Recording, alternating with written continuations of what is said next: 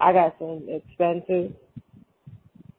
Um, and I need it. So yeah,